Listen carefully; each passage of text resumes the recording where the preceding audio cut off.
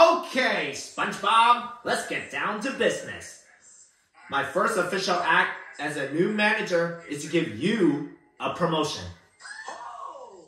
You get to run the cash register.